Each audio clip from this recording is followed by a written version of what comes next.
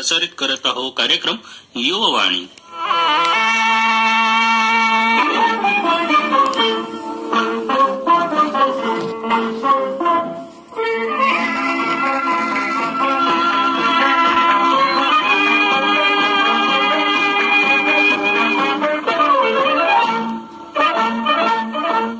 Hi good evening. युवा मित्र मैत्रिणींच्या मनाचा ठाव घेणारी वाणी अर्थातच युवावाणी या आजच्या कार्यक्रमामध्ये मी सुमेधा कुलकर्णी सर्व मित्रमैत्रिणींचं सहर्ष स्वागत करत आहे.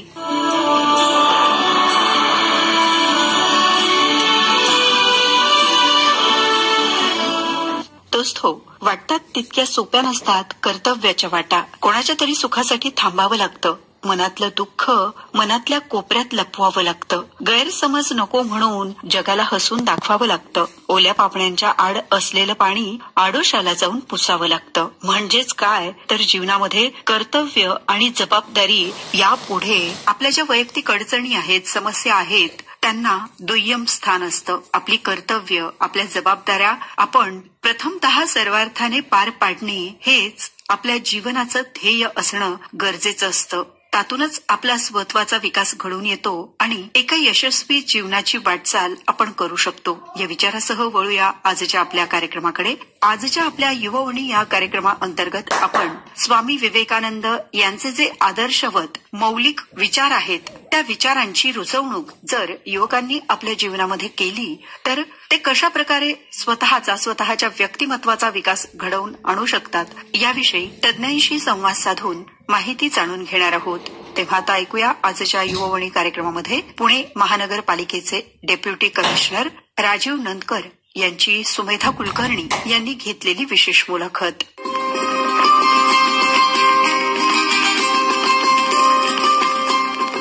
दोस्तो पुनश्च एकदा आजच्या आपल्या युववणी कार्यक्रमामध्ये सर्व मित्रमैत्रिणींचं सहर्ष स्वागत. दोस्तो नुकताच बारा जानेवारी रोजी आपण स्वामी विवेकानंद यांच्या जयंती दिनाच्या निमित्ताने राष्ट्रीय युवा दिन साजरा केला. निश्चितच या दिनाचं आपणा सर्व युवांच्या जीवनामध्ये अतिशय महत्त्वपूर्ण असं स्थान आहे आणि असायलाच हवं.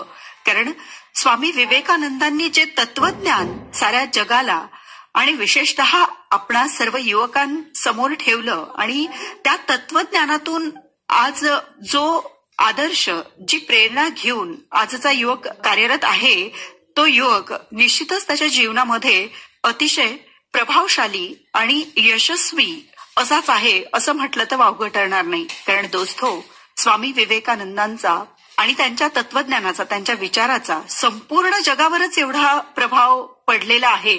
आणि तो वर्षानुवर्ष अगदी जशास तसा टिकून आहे. अनेक फेज मधून त्यांनी त्यांचं हे संपूर्ण जीवन व्यतीत केलं आणि त्यांना जे प्रत्यक्ष अनुभव त्यांनी त्यांच्या जीवनामध्ये अनुभवले त्यातून जे तत्वज्ञान जे विचार आपणा सर्व युवकांसमोर मांडले ते निश्चितच आपणा सर्वांसाठीच आदर्शदायी असे आहेत.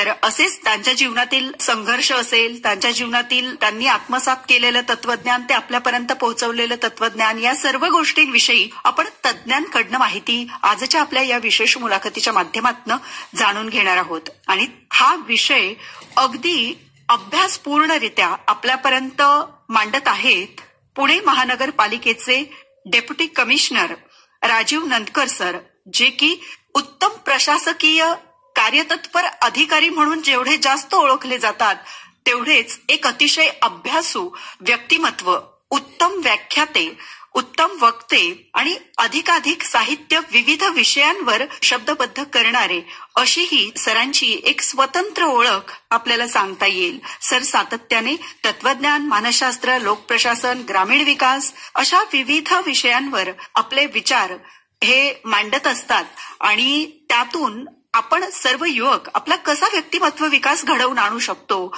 यासाठी ते सतत प्रयत्नरत असतात. निश्चितच आजपर्यंत आपल्या आकाशवाणी केंद्रावर मुलाखतीचेही भरपूर कार्यक्रम वेगवेगळ्या केंद्रांवर सरांचे प्रसारित झालेले आहेत. यासोबतच दीडशे पेक्षाही अधिक वर्तमानपत्र मासिक यांमध्ये सरांनी लेख लिहिलेले आहेत आणि विशेषतः सरांची सहा पुस्तकं आजपर्यंत प्रकाशित झालेली आहेत जी की आपल्या सर्व युवकांसाठी त्यांनी त्यांच्या जीवनामध्ये ध्येयाचा पाठलाग करून यश संपादन करण्यासाठी अतिशय उपयुक्त अशी आहेत. तर सरांकडनं आज आपण स्वामी विवेकानंद आणि त्यांचं एकंदरीत जे व्यक्तिमत्व आहे आणि त्यातून आपण काय प्राप्त करायचं आहे याविषयी अतिशय सविस्तर अशी माहिती आजच्या आपल्या या विशेष मुलाखतीच्या कार्यक्रमाच्या माध्यमातून जाणून घेणार आहोत. सर सर्वप्रथम आपलं खूप खूप स्वागत आहे आजच्या आमच्या कार्यक्रमामध्ये. धन्यवाद मॅडम. आणि सर्व माझ्या युवा मित्रांना माझा प्रेमपूर्वक असा नमस्कार. सर मला सर्वप्रथम आपणास विचारावंसं वाटतं की स्वामी विवेकानंद यांचं जे व्यक्तिमत्व आपणा सर्वांना परिचित आहे परंतु आजच्या आपल्या या मुलाखतीच्या सुरुवातीला त्यांचा एकंदर जो जीवन प्रवास आहे तो तुमच्या शब्दामध्ये तुम्ही आम्हा सर्व युवांसमोर कशा प्रकारे शब्दबद्ध कराल? भारतीय आध्यात्मिक संस्कृतीची संपूर्ण जगाला ओळख करून देणारे आणि ज्यांचा उल्लेख संपूर्ण जगात योद्धा संन्यासी म्हणून केला जातो अशा या आदरणीय स्वामी विवेकानंद यांचा जन्म त्यांचे ज्ञानसंपन्न असे वडील विश्वनाथ बाबू आणि भक्ती संपन्न अशी आई भुवनेश्वरी दत्त यांच्या पोटी बारा जानेवारी अठराशे त्रेसष्ट रोजी कोलकाता येथे झाला होता. स्वामी विवेकानंद यांचे जन्मनाव नरेंद्र मात्र त्यांची आई त्यांना लाडाने बिल्लू असे म्हणत असे. स्वामीजींना ते स्वतः धरून एकूण दहा भावंडे होती. संस्कृत हा विषय त्यांचा आवडता होता. ते नियमित व्यायाम सुद्धा करत असत. स्वामी विवेकानंद यांनी गायन आणि वादन सुद्धा आत्मसात केले होते. स्वामी यांच्याकडे अफाट अशी बुद्धिमत्ता तर होती शिवाय त्यांची स्मरणशक्तीही चांगली होती. नेतृत्व गुण हा त्यांच्यामध्ये जन्मसिद्ध असाच होता आणि तो त्यांच्या मित्रांसोबत खेळताना दिसून येत असे. लहानपणापासूनच स्वामीजी निर्भीड असे होते. त्यांचा बराचसा वेळ ते ध्यान साधनेत सुद्धा घालवत असत. सन अठराशे एक्क्याऐंशी मध्ये स्वामी विवेकानंद यांची त्यांचे गुरु स्वामी रामकृष्ण परमहंस यांच्या सोबत झाले. आणि त्यानंतर स्वामी विवेकानंद हे रामकृष्ण परमहंसांचे शिष्य झाले ते जन्मभरासाठी. अठराशे एक्क्याऐंशी ते अठराशे चौऱ्याऐंशी या तीन वर्षात स्वामी त्यांच्या गुरूंच्या सानिध्यात होते. त्यानंतर जवळ पंधरा ऑगस्ट अठराशे शहाऐंशी रोजी स्वामी परमहंस यांनी देहत्याग केला आणि एक पर्व संपले आणि स्वामी विवेकानंदाचे दुसरे पर्व सुरू झाले. स्वामी विवेकानंद हे भारत भ्रमणसाठी अठराशे सत्याऐंशी मध्ये बाहेर पडले. त्यांनी जवळपास अठराशे ब्याण्णव पर्यंत असा पाच वर्षाचा पूर्ण भारतभर प्रवास केला. भारतामधील समस्या भारतामधील भौगोलिक रचना भारतामधील रूढी परंपरा यांचाही त्यांनी अभ्यास केला. शेवटी कन्याकुमारी येथील एका खडकावर त्यांनी सर्व धर्म महासभेत अमेरिकेला जायचे आणि तिथं भारताचे तत्वज्ञान पोहोचवायचे असा त्यांनी निश्चय केला. त्यांच्या शब्दात सांगायचे तर कन्याकुमारीच्या या खडकावर ते सांगतात की मी एक भारत झालो मी एक कंडेन्स भारत झालो. अशा प्रकारे सर्व तयारी करून अठराशे त्र्याण्णवमध्ये ते जहाजाने त्यांनी अमेरिकेचा प्रवास सुरू केला आणि ते अमेरिकेत पोहोचले. अमेरिकेत पोहोचल्यानंतरही त्यांचे अडथळे आणि समस्या संपल्या नव्हत्या. मात्र त्यांनी या सर्व अडथळ्यांवर मात करत अकरा सप्टेंबर अठराशे त्र्याण्णव रोजी शिकागो येथील धर्म परिषदेत my sister and brother of America असे संबोधन केले आणि संपूर्ण जग त्यांच्यासमोर नतमस्तक झाले. मित्रांनो त्यानंतर स्वामीजींनी तर मागे वळूनच पाहिले नाही. अमेरिका इंग्लंड येथे अनेक व्याख्याने दिली. भारतीय वेदांत तत्वज्ञान त्यांनी संपूर्ण जगाला सांगितले. एकूण साडेतीन वर्ष ते अमेरिका आणि इंग्लंड या देशामध्ये भारतीय तत्वज्ञानाचा प्रचार आणि प्रसार करत राहिले. डिसेंबर एकोणीसशे मध्ये ते पुन्हा भारतात आले. त्यानंतर त्यांनी आपले काम पुढे सातत्याने व न थांबता चालू ठेवले. चार जुलै एकोणीसशे दोन रोजी ते महासमाधीद्वारा आत्मस्वरूपात लीन झाले आणि एका युगाचा अस्त झाला. असे आपले स्वामी विवेकानंद आणि त्यांचा हा एकंदर जीवन प्रवास.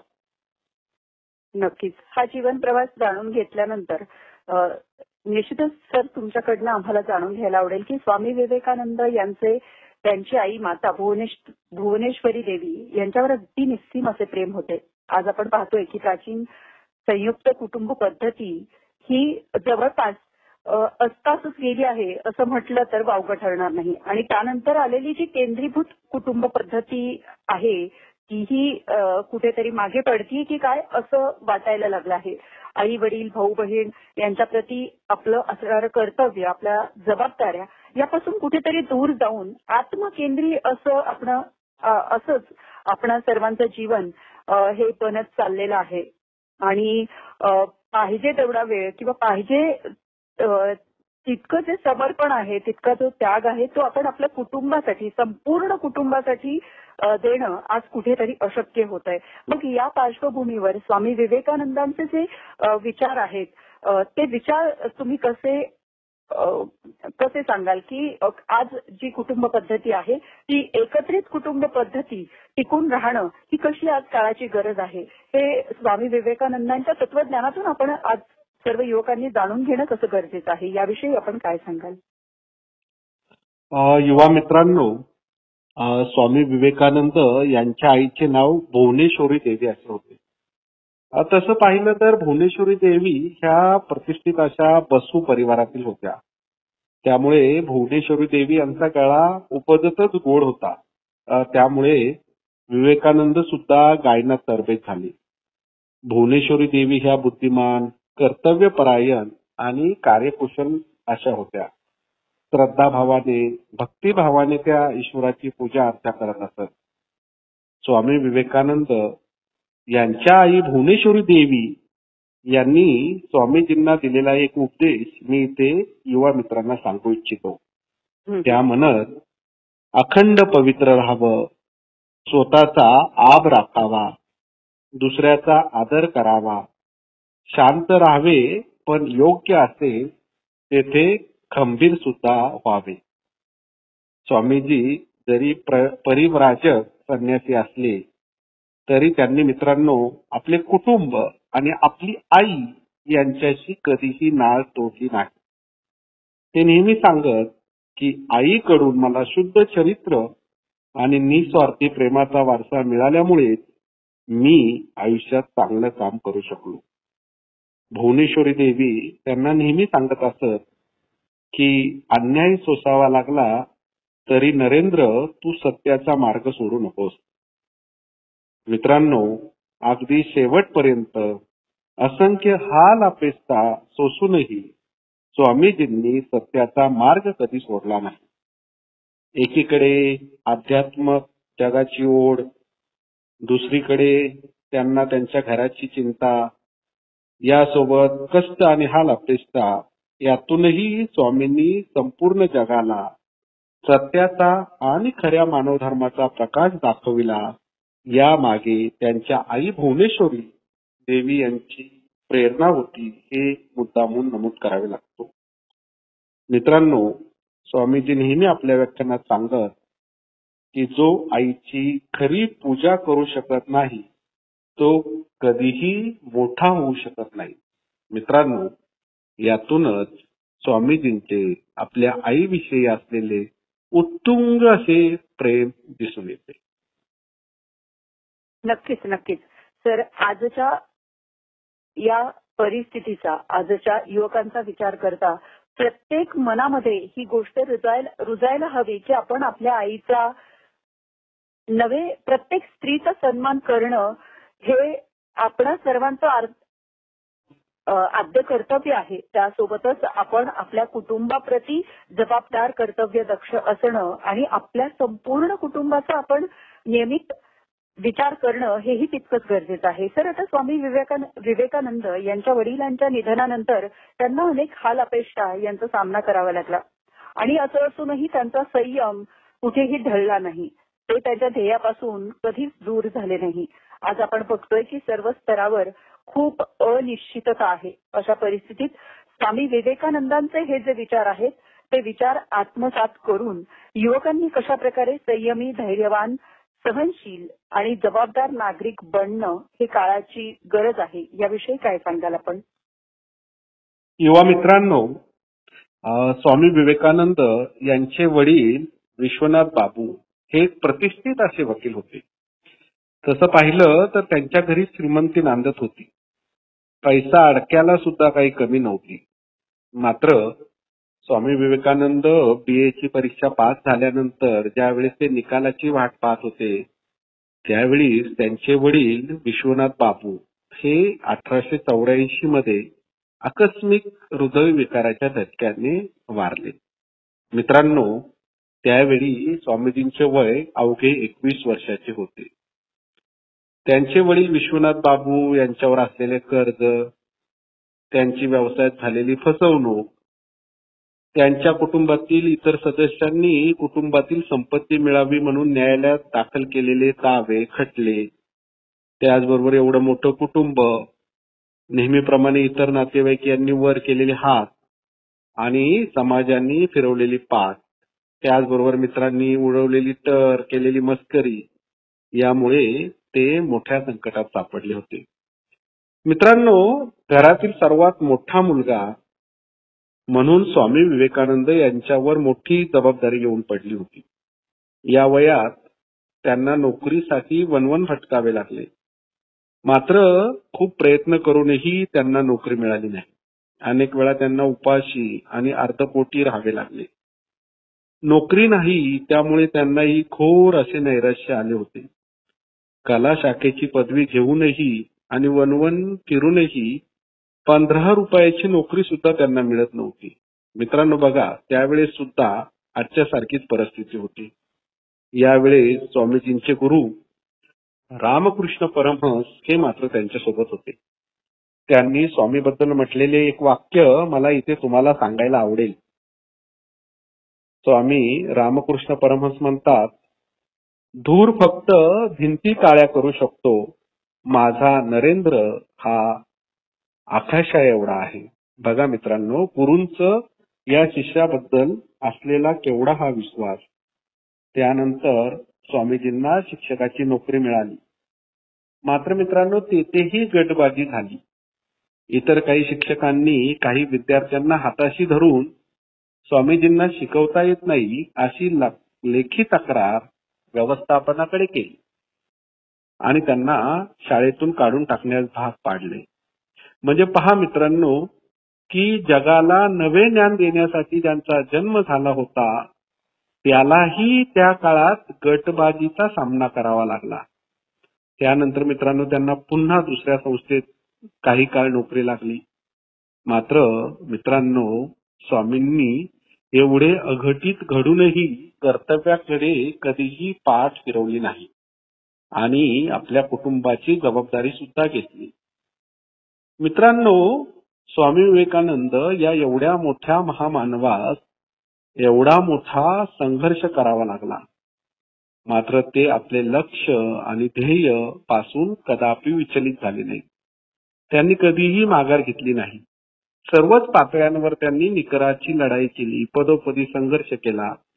आणि त्यामुळे दीन दुबळे गरीब यांच्या खऱ्या स्थितीची जाणीव त्यांना झाली आणि त्यातूनच या खितपत पडलेल्या भारतीय समाजाला बाहेर काढण्यासाठी त्यांनी आपल्या अमोघ वाणीतून आणि व्याख्यानातून प्रयत्न सुरू केले.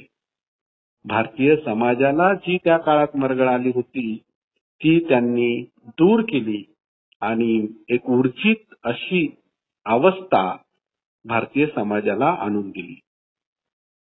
नक्कीच नक्कीच. तर आपण सांगितल्याप्रमाणे स्वामी विवेकानंदांनी ज्या संघर्षातून वर येऊन आपणा सर्वांसमोर जे अद्वितीय असं तत्वज्ञान विचार मांडून जी प्रेरणा आणि जो आदर्श घालून दिलेला आहे तो निश्चितच आज युवकांनी अंगी बांधला तर ते त्यांचं जे ध्येय आहे जीवनातील ध्येय आहे ते ध्येय अनेक आव्हानं संकटांचा संघर्षाचा सामना करूनही पूर्ण करू शकतात. यासोबतच सर आता तुम्ही बोलता बोलता म्हणालात की स्वामी विवेकानंद यांना त्यांचे गुरु श्री रामकृष्ण परमहंस यांनी वेळोवेळी योग्य मार्गदर्शन आणि मदत केली. स्वामी विवेकानंदांचे गुरु श्री रामकृष्ण परमहंस यांचे आणि स्वामी विवेकानंद यांचे गुरु शिष्याचे जे नाते होते त्या नात्याबद्दल आपण सर्वांनीच आजपर्यंत खूप ऐकलंय खूप जाणून घेतलंय. तर त्या नात्याबद्दल आपण काय सांगाल? आणि आज जे आपण बघतोय की आजचा जो तरुण वर्ग आहे तो तरुण वर्ग खूप मोठ्या प्रमाणामध्ये सोशल साईट्सच्या जाळ्यात अडकलेला आहे.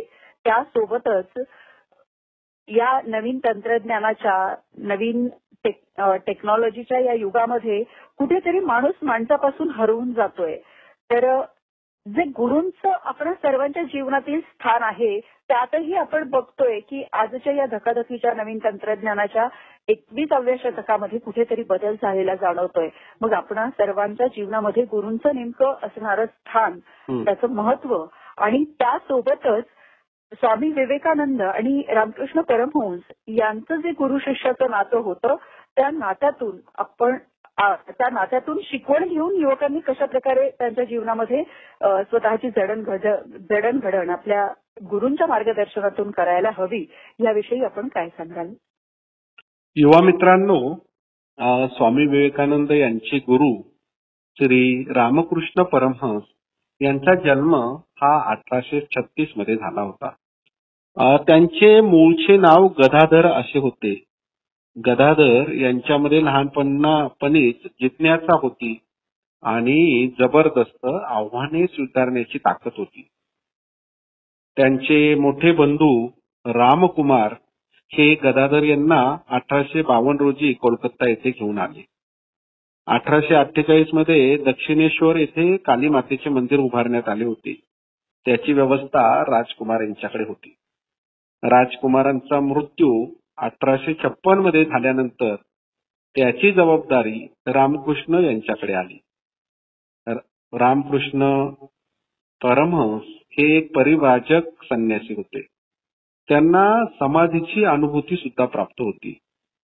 इंग्रजांचं शिक्षण त्याबरोबर आलेले पाश्चात्य विज्ञान यामुळे भारतामध्ये एक नवं वारं वाहत होतं. आणि त्यामुळे आपले नरेंद्र हे सुद्धा नास्तिकतेकडे झुकत चालले होते. ईश्वराच्या अस्तित्वाचा शोध ते पूर्वीपासूनच घेत होते. खरं पाहिलं तर सन अठराशे एक्क्याऐंशी मध्ये स्वामी विवेकानंद यांची रामकृष्णांची भेट सुरेंद्रनाथ मित्रा या गृहस्थाच्या घरी झाली. त्यानंतर असे योगायोगाने प्रसंग घडत गेले की गुरु शिष्याची ही जोडगोळी घट्टच जमली. सद्गुरू तुकाराम महाराजांच्या भाषेत सांगायचे तर सद्गुरू म्हणजे असा परीस की जो शिष्याचे सोनं करत नाही तर शिष्याचं परीस करतो. अगदी त्याप्रमाणे रामकृष्ण यांनी स्वामी विवेकानंदांना परीस बनवले. खऱ्या अर्थाने रामकृष्ण परमहंस यांनी स्वामी विवेकानंद यांच्या अस्तित्वाला अर्थ प्राप्त करून दिला. पंधरा ऑगस्ट अठराशे शहाऐंशी मध्ये आपले गुरुज्ञान स्वामींना देऊन रामकृष्णांनी ध्येयत्याग केला. त्याबद्दल स्वामीजी नेहमी सांगत सूर्य आपल्या स्थानावर आढळ असतो. हे ठाऊक असूनही आपण दिवस मावळण्याला सूर्यास्त म्हणतो. अगदी तसाच माझे गुरु रामकृष्ण यांचा मृत्यू होता. जत मत तत् तत् पत या चार शब्दांमध्येच रामकृष्ण परमहंस यांच्या तत्वज्ञानाचे सार सामावलेले आहे. याचा अर्थ असा होतो की सर्व धर्म सर्व संप्रदाय यांचे रस्ते म्हणजे पथ हे ईश्वराकडे जातात. कार्य मानव धर्म जर कोणी शिकवला आणि अनुकरणला असेल तर तो स्वामी रामकृष्ण आणि स्वामी विवेकानंद यांनी. नक्कीच नक्कीच. सर आता स्वामी विवेकानंद यांनी अमेरिका आणि इंग्लंड येथे अनेक व्याख्यानं दिली. त्यावेळी त्यांचं वय अवघं तीस वर्षांचं होतं. त्यांच्या या व्याख्यानामुळे या पाश्चिमात्य देशातील युवा वर्ग मोठ्या प्रमाणावर प्रभावित झालेला त्यावेळी दिसून आला. यामागे मग त्यांचे जे तत्वज्ञान होते त्याबाबत तुम्ही आपल्या सर्व युवा मित्रांना काय सांगाल? आणि हे जे तत्वज्ञान आहे ते तत्वज्ञान सर्व युवकांनी कशा प्रकारे आज आचरणात आणावे याबाबत आपण त्यांना काय मार्गदर्शन कराल? युवा मित्रांनो स्वामी विवेकानंद हे अमेरिकेत शिकागो येथे होणाऱ्या महाधर्म परिषदेत भारताचे प्रतिनिधी म्हणून उपस्थित राहणार होते. ते अठराशे त्र्याण्णवच्या जुलै महिन्यात येथे पोहोचले. मात्र मित्रांनो ही महाधर्म परिषद ही सप्टेंबर अठराशे त्र्याण्णवमध्ये होणार होती. या ठिकाणी गेल्यावर स्वामी विवेकानंद यांना आर्थिक अडचणीचा सामना करावा लागला. तसेच महासभेत त्यांना बोलण्याची संधी मिळावी यासाठी त्यांना जीवाचे रान करावे लागले. अनेकांनी तेथे त्यांची फसवणूक केली तसेच त्यांची निर्भसना सुद्धा करण्यात आली असे असूनही मित्रांनो सकारात्मक वृत्ती आणि संभाषण कौशल्य याच्या आधारे त्यांना काही अमेरिकन लोकांनी मदत केली व आसरा दिला. सदर महासभा ही सर्व धर्म परिषद होती. या सभेत मित्रांनो अनेक धर्मांचे प्रतिनिधी हजर झाले होते. अकरा सप्टेंबर रोजी स्वामीजी भाषणांसाठी उभे राहिले आणि त्यांनी sisters and brothers of America या शब्दांनी भाषणात सुरुवात करताच टाळ्यांचा कडकडाट झाला.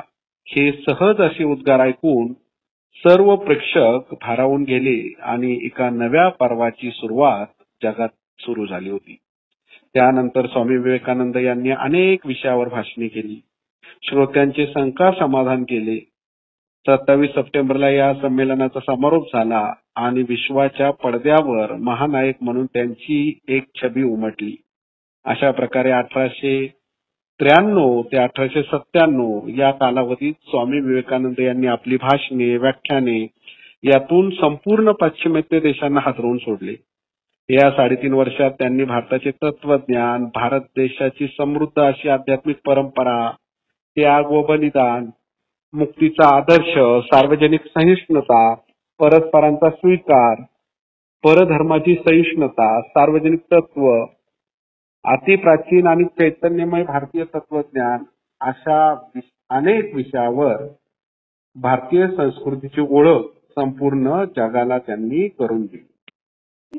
तर अशा प्रकारे मग हे जे स्वामी विवेकानंद यांचे तत्वज्ञान आहे ते सर्व युवकांना त्यांच्या जडणघडणीसाठी अतिशय उपयुक्त आहे. फक्त आवश्यकता आहे ते युवकांनी ते आत्मसात करण्यासाठी करण्याची आणि आपल्या दैनंदिन जीवनामध्ये ती कृतीत उतरवण्याची त्यातून निश्चितच आपण आपला जो व्यक्तिमत्व विकास आहे तो चांगल्या प्रकारे घडवून आणू शकतो. सर आता स्वामी विवेकानंद यांनी चार योगा योगांबाबत सांगितलं होतं. यात राजयोग ज्ञानयोग कर्मयोग आणि प्रेमयोग याविषयीचं विवेचन सांगितलं गेलं. तर हे जे चार योग आहेत तर त्याविषयी शुद्ध आचरण करण्याबाबत आजच्या युवा मित्रांना आपण काय संदेश द्याल बरं? युवा मित्रांनो स्वामी विवेकानंद यांची सर्व व्याख्याने आणि कार्याचा केंद्रबिंदू योग विषय होता. मित्रांनो योग म्हणजे काय? तर जोडणे किंवा साधने माणसाला त्यांच्या अंतरात्म्याशी आणि सो सोबत जोडणे म्हणजे योग होय. त्यासाठी स्वामींनी एकूण चार योग सांगितले आहेत. त्यामध्ये राजयोग कर्मयोग प्रेमयोग आणि ज्ञानयोग यांचा समावेश होतो. या योगांच्या माध्यमातून माणसाने त्याची उन्नती साधावी असे ते कायम सांगत असत. ते सांगतात की माणसाने तत्वगुणी आणि रजोगुणी व्हावे. तमोगुणी नाही. ते सांगतात मित्रांनो आपल्या ठाई अनंत ज्ञान आणि शक्ती वास करीत आहे. त्या ज्ञानाला आणि त्या शक्तीला जागृत करा यालाच राजयोग म्हणतात. त्यासाठी ते प्राणायाम प्रत्याहार ध्यान धारणा याचा पुरस्कार करण्याचा आग्रह धरतात. आणि हे पण सांगतात की ही साधना गुरुच्या सानिध्यात करावी. स्वामींनी कर्मयोगाचा सुद्धा आदर्श घालून दिला आणि सांगितले की आपल्या कर्माचा आपल्या चरित्रावर प्रभाव असतो. कर्म म्हणजे परोपकार होय. आपल्या क्षेत्रात कोणीही कमी नाही. त्यामुळे विद्यार्थी मित्रांनो तुम्ही तुम्हाला नेमून दिलेल्या क्षेत्रात चांगले काम आणि कर्तव्य करत राहा. प्रेमयोग बाबत स्वामीजी सांगतात की ईश्वर हा सर्व मानव जातीमध्ये आणि प्राणी मात्र यांच्यामध्ये समावलेला आहे. त्यामुळे या मानव जातीवर प्रेम कराल तर तुम्ही खुद्द ईश्वरावरच प्रेम कराल. ज्ञानयोग म्हणजे आत्मसंयमन मनाची एकाग्रता आणि ध्यान धारणा होय. ज्ञान माणसाला डोळस बनवते. ज्ञान असेल तर भीती नाहीशी होते. मित्रांनो असे एकंदर चार योगाचे सार त्यांच्या तत्वज्ञान विषयात सामावलेले होते. मित्रांनो योग्य गुरुच्या मार्गदर्शनाखाली या चार योगांचा जर आपण स्वीकार केला तर आपल्या उन्नती आणि विकासपासून आपल्याला कोणीही थांबवू शकत नाही. नक्कीच नक्कीच. यासोबत सर आता आपण बघतो की स्वामी विवेकानंदांचं जे एकंदरीत व्यक्तिमत्व होतं आणि व्यक्तिमत्वातले जे विविध पैलू होते ते आपणा सर्व युवकांसाठी निश्चितच अतिशय आदर्शवत आणि एक त्यांच्या कार्यामध्ये त्यांनी कसं स्वतः स्वतः ध्यासपूर्ण असं कार्य करणं गरजेचं आहे हे सांगणारं असं स्वामी विवेकानंद यांचं व्यक्तिमत्व ज्याच्या अनुकरणातून निश्चितच आज युवक हे देशासाठी आधारभूत ठरू शकतात. मग स्वामी विवेकानंद यांच्या व्यक्तिमत्वातील असे काही विशेष वैशिष्ट्य काही पैलू जे की सर्व युवकांचे व्यक्तिमत्व घडवून आणू शकतात याविषयी आपण काय सांगू शकाल बरं? युवा मित्रांनो स्वामी विवेकानंद म्हणजे खऱ्या अर्थाने सद्गुणांचा पुतळा होता. त्यांच्याकडे विलक्षण अशी प्रतिभा होती. असामान्य अशी बुद्धिमत्ता त्यांच्याकडे होती. पराकष्टेचा त्याग त्यांच्यात दिसून येतो. त्यांच्याकडे मोठे संघटन कौशल्य होते. त्यांची वृत्ती जी आहे ती निर्भय होती. त्यामुळे ते सत्याचा प्रसार करू शकले. आंतरिक पावित्र्य त्यांच्यामुळे होते. त्यामुळे वाईट प्रवृत्ती त्यांच्यापासून दूर राहत असत. उच्च अशी ध्येय शक्ती त्यांच्याकडे होती की त्यामुळे त्यांचे गुरुंनी सोपविलेले कार्य ते पूर्ण करू शकले. निष्कलंक चरित्र हा त्यांचा मोठा गुणविशेष होता. त्यांना अनेक प्रलोभने आली परंतु त्यांनी मित्रांनो त्यांचा तोल कधीही ढळू दिला नाही.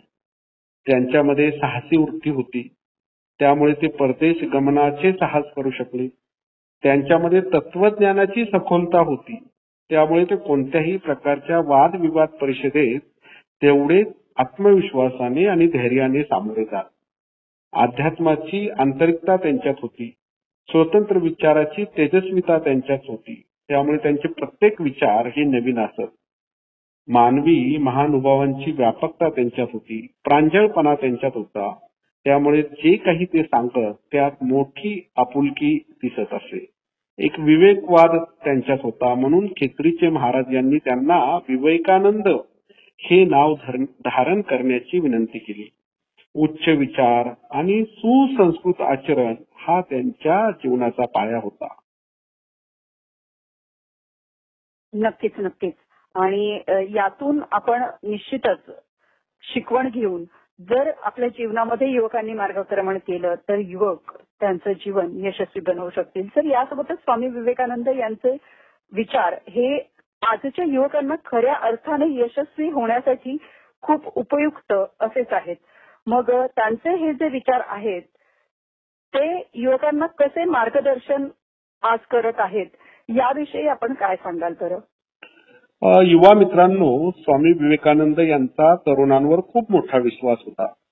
आणि या तरुणांकडून त्यांच्या खूप अपेक्षा सुद्धा होत्या. नेहमीचा सधोपट मार्ग न स्वीकारता तरुणांनी काहीतरी नाविन्यपूर्ण आणि सर्जनशील असे कार्य करावे असा त्यांचा नेहमी आग्रह असे.